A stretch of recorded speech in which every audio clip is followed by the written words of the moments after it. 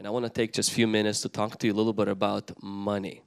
And I know that for maybe if you're visiting us for the first time today, you know, you're just, you have a free free trip just to listen. You don't have to participate unless you want to. But those of us who are followers of Jesus Christ, who make Jesus our Lord and Savior, uh, not only you have to listen to what I'm about to say, you have to follow what I'm about to say also because uh, money is a very important part of your life. 16 out of 30 something parables that Jesus did they dealt with money. Jesus talked more about money than he talked about prayer fasting and internal life combined and so it's a very important aspect of your life. The Bible says you can serve two masters, Lord and money. It never says Lord and Satan because money is a competition for our heart. And we all understand that we spend eight hours at work. You don't spend eight, hours, you don't spend eight hours at church. Uh, you don't spend eight hours even maybe with your kids or with your spouse, but you spend eight hours every day uh, working. And so it's where you spend the most of your time. And today I want to just address uh, one simple issue. A lot of people have different ideas about money. I remember talking to one young man and he said, well, Bible says money is evil. And I said, where did you see that in the Bible? He said, well, that's what everybody says. I'm like, the Bible says love of money is root of all evil. The Bible never says that money is evil. Then people have this idea the Bible says that God wants you to be poor. I was like, where did you get that? Well, it says, blessed are the poor it says, Blessed are the poor in heart, and they will inherit the kingdom of God. And so people always have these ideas about money that, that somehow they heard from someone, but they're not necessarily in the scripture. When it comes to um, giving, when it comes to uh, our generosity before God, we have to understand God is the wealthiest. God is the richest. God is not broke. God is very, very wealthy. And being so wealthy, He's also the most generous God. It's interesting how these two ingredients and characteristics are found in one being, being most generous and at the same time being most wealthy. Sometimes you can come to the conclusion you can't be generous if you're wealthy and you also can't be wealthy if you're generous, if you're not generous. These two things have to be very important. If you want to be like God, you have to be generous. And if you're going to be generous, you're going to be prosperous. It's possible to live in the best country in the world, United States, and not be prosperous. And not for lack of education, not for lack of intelligence, but sometimes there are problems that happen in people's lives and finances. And I want to discuss those problems. We call them poverty. There's three types of poverties that happen to people. The first kind of poverty is an attack from the devil when the poverty is an attack, when it's a curse.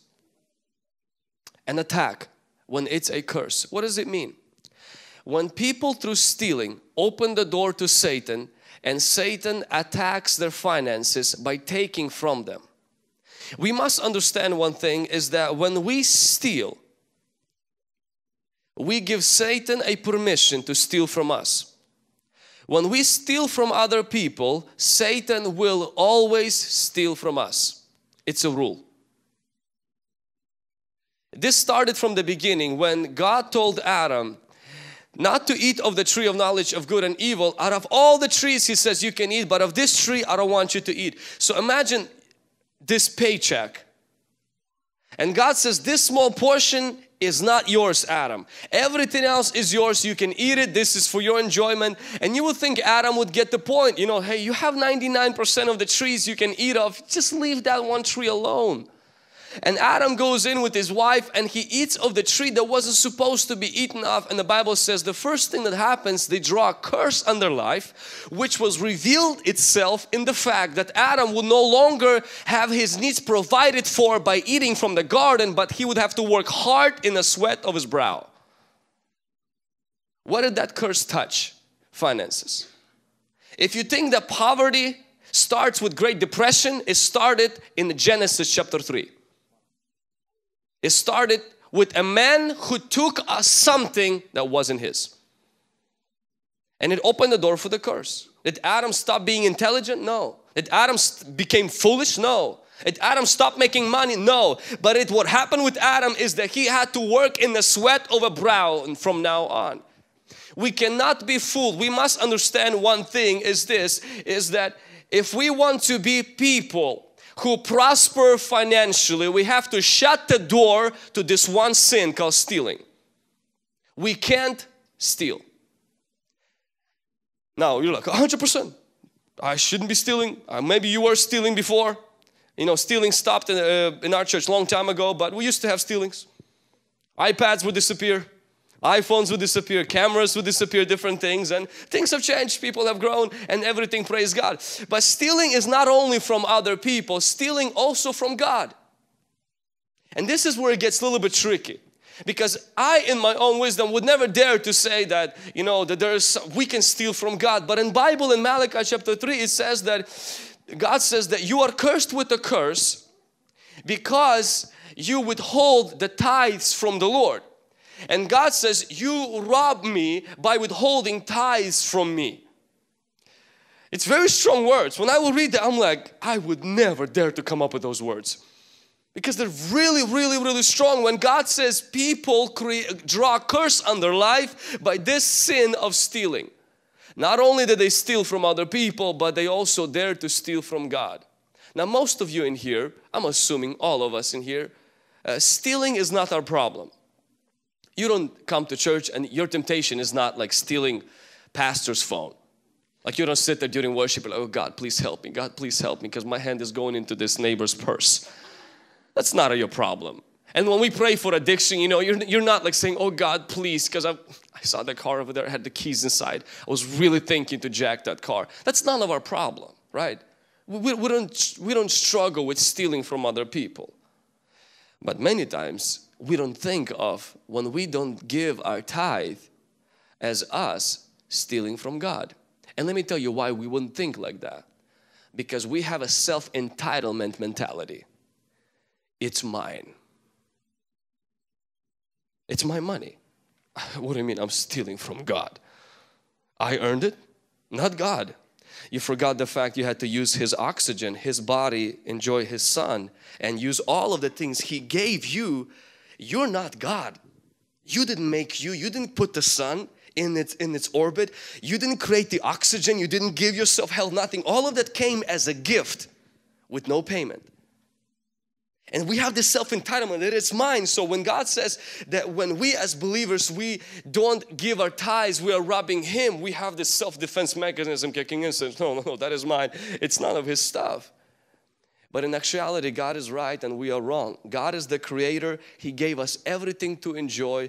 And we, as a sign of thanksgiving and as a sign of trust, should always return 10% saying, God, everything I am came from you. God, I know people who are 29 who are smarter than me and they're buried in a cemetery right there in Pasco. God, I know people who have degrees and they found them dead in the toilet at their work. So I don't claim to brag that everything I have is mine. It's a gift from you. I know people who were smart and intelligent and driving to get their certificate and on the road there was an accident that happened. So God, I know that everything I have is not just from me. It is your gift and I want to be grateful and thankful to say God, I thank you. Amen. When we steal, we draw a curse upon our life and this curse manifests itself in this that God lifts a protection and Satan steals from us as we've stole either from other people or from God.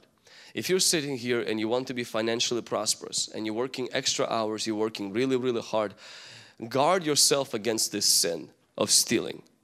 Stealing from people and secondly, stealing from God. I remember when uh, two years ago um, I had this sin that I struggled with. I would download uh, movies uh, through torrents I know none of you have ever done that before, so most of you don't know what that is, but those of you who ever had a computer and, uh, and you're Hispanic or Russian, you probably have used that software one time or another. No, some of you waving heads, no, I don't steal, I just go to the store and take it from the store. But um, I didn't do this all the time. But um, my excuse was always, well, Hollywood has enough money, plus they're already sinning. So if I just take a thing or two, who cares? Somehow two wrongs make one right. You know, twisted. It was just, it was just really bad. And I remember it was, it was vivid as yesterday. It was Friday. We were driving from a date, and um, and uh, my wife wanted, we wanted to watch something, some kind of a cartoon or some some cheesy family movie. And I'm like, oh, and in my mind, I'm like, oh, I'll download it, no big deal. And I'm driving and I have this no peace in the heart where I feel like I'm stealing. And I'm debating in my own heart, we're driving and my wife is there, she doesn't even hear this, but I'm debating, I'm like, well, it's not stealing.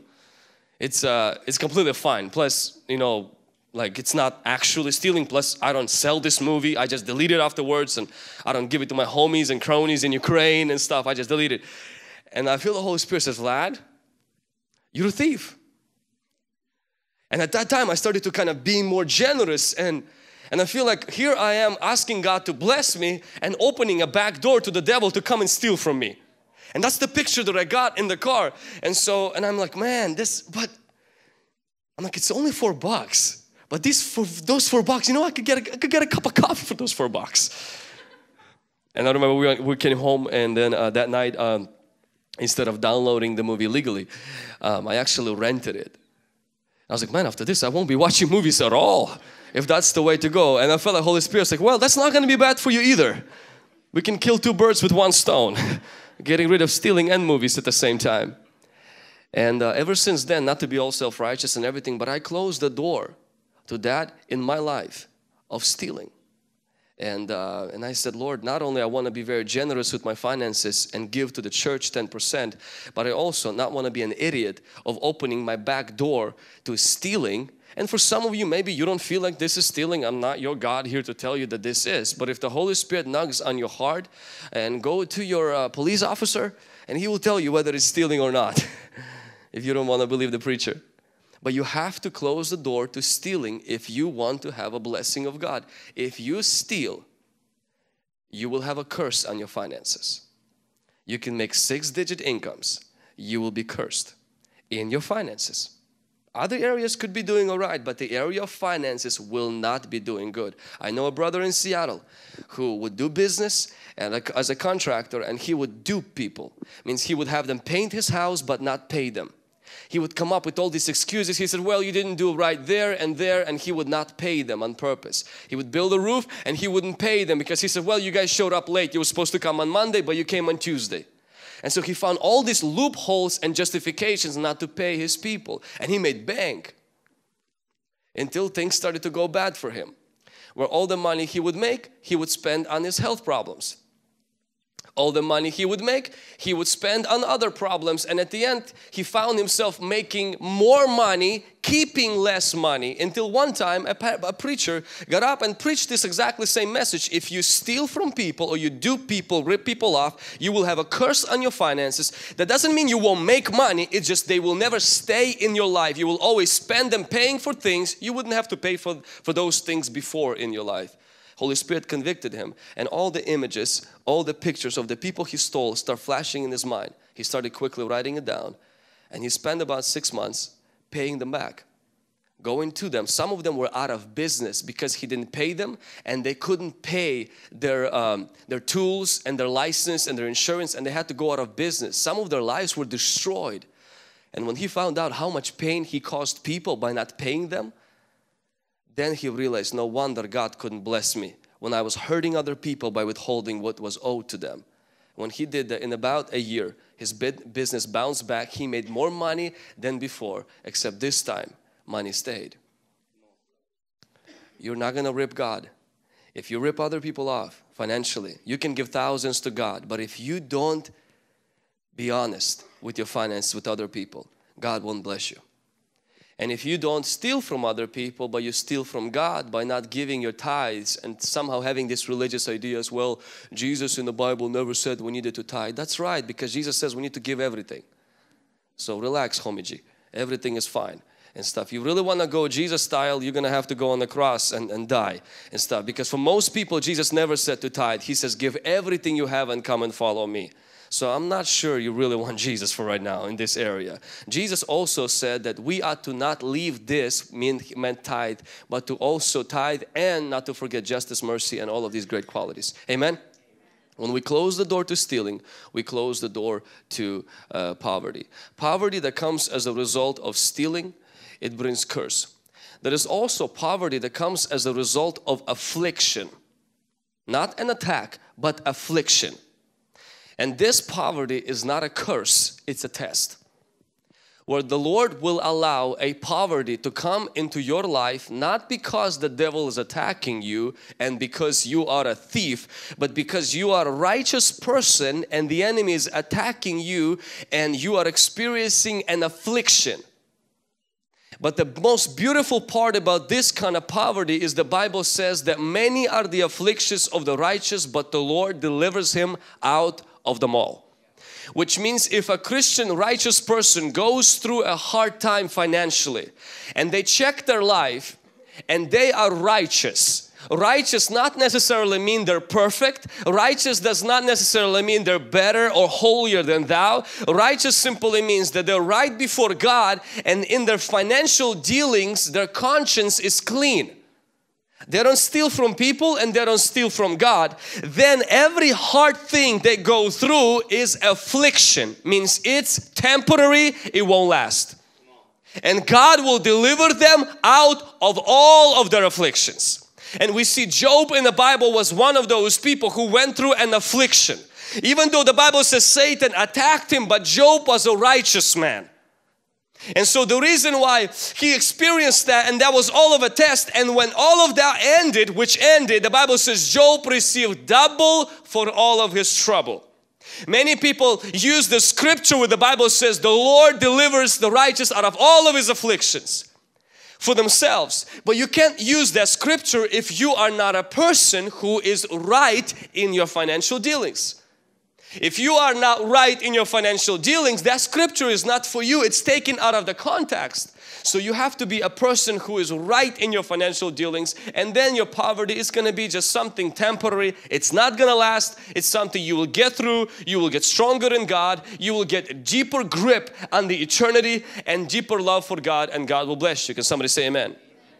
The third kind of poverty which is different. So the first poverty is an attack by Satan. It's a curse because we steal. The second poverty, it's an affliction, it's a test, but we are righteous. The third kind of poverty, it's an act of love that we choose to become poor as our way of serving God and loving people. The Bible says in Corinthians, Jesus being rich became poor so that we can be enriched through his poverty. Jesus was also poor, not all his life, but on the cross, he experienced poverty not because he was afflicted, not because he was attacked, but because he made a decision on his own. Nobody took anything from him. He made a decision to give everything he had so that I could get things that I don't have. And this kind of poverty is a good poverty. The reason why is because you can't do this kind of poverty if you're broke. You can't give anything away if you don't have anything to give. So the only people who can actually do this poverty is people who have wealth and blessings and who have something to give. And if people don't have anything to give, well, it's very difficult to be in this kind of poverty. Some of you know about Mother Teresa who you know walked away from her amazing life and went to serve in India to the less privileged people and this that's the kind of poverty that I'm talking about. Some of you know the author of uh, Rick Warren who wrote a famous book called Purpose Driven Life that sold over 40 million copies and this book made him extremely extremely wealthy. In one of the interviews he said he made so much money from the book he could he could buy an island and fill the whole island with Bentleys. You know what he did with that money? He went and paid his church back all the money the church paid him as a pastor for the past some 20 years. All of that money back. And after that, what he did is he switched his tithing. Instead of tithing 10%, he tithes 90 and lives on 10. And he testified, he said, Till this day, I live in the same house, wear the same clothes, drive the same car, eat in the same restaurants, and live exactly the same as I lived before I made that money. For one simple reason, not because I can't live better, but because I choose to live poor in the eyes of people with the amount of money I have so that this money could go to serve a greater cause of reaching more people to God, touching nations and touching causes in the world which require finances for them to go and make a difference. And this is a good poverty. Now nobody likes to be poor. But if you ever end up in this poverty, it's a good poverty. You know, you will never be more poor than you were when you were born. When you were born, you were very poor. and you will never be more poor than when you will die. When you will die, you will be very poor. I know you will have an expensive suit, but you will be very poor. The only thing is that when you were born and you were poor, that doesn't count. When you will die and you'll be poor, that won't count either. The only thing that counts is the things you give to the kingdom of God and the things you give to other people. Can somebody say amen? I know uh, a few months ago when one gentleman who gave his life to Jesus, recommitted his life to Jesus, and, um, and I was talking about offering about once a month. I kind of take a little bit longer to talk about money and giving. And I did that exactly at that time. And the Lord placed, placed on his heart to begin to give a certain amount every week as he would come to church. But the problem with that, to give, it caused him very deep emotional pain. And some of you even listening right now and maybe you have thoughts, maybe I should give this. One voice says give, the other voice says you're crazy. Don't listen to the preacher, he's stealing your money, that's all they do. And so one is voices of the devil, the other voice is the Holy Spirit. It's very simple. And so, and as this voice start coming to his head, you have to give this amount. But the other voice says, well, if I'm gonna give this, I could get a brand new car and have enough money to make the payments every single month if I don't give those money. But against uh, the other voice, he decided to go ahead and start giving. And this young man is already very generous. He pays for his mother's house and he pays for his mother's car. So he could already say, well, you know what, I already give a lot. But he decided to also give to God. And then after a few, few weeks, after some time, God gave him an idea and an idea was to come to, to his employer and to present him a certain plan. And after this plan was presented you know um, that his employer rewarded him with a uh, very very very very very expensive. I won't mention the the digits so it won't offend your faith but very very lucrative thing that he received as a gift from his employer. It tops everything that he was planning to give or will give in next five or six years and when he came back, he was so full of joy. He says, It worked. I said, The goal, what worked is not the fact you got money back. What worked is the fact that you were obedient. That's what worked. And then a few weeks later, uh, he received also some royalty that, from something that he had that he would always receive a year, very small amount, but this time this was maybe like six or seven times more. He sent a, quickly a check and he's like, this is so incredible, this is so awesome. It's like I have chills in my body right now that this is amazing.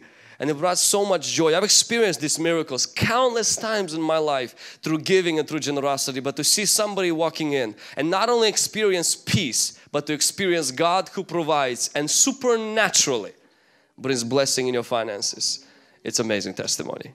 Amen.